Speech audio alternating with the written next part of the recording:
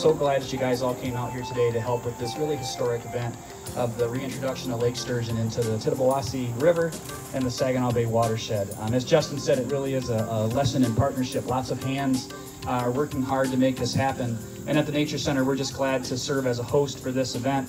Uh, Saginaw Watershed Initiative Network over there with Mike, uh, Michigan Sea Grant, U.S. Fish and Wildlife Service, Michigan DNR. So these fish are about uh, three months old right They're about uh, seven inches in length, and they were raised at the Genoa National Fish Hatchery in, in Wisconsin. So this week, our crew was over in Genoa, and we individually tagged each one of these sturgeons. And the way this is going to work is you're going to step into the river. You're going to gently scoop a sturgeon out of the bucket by hand.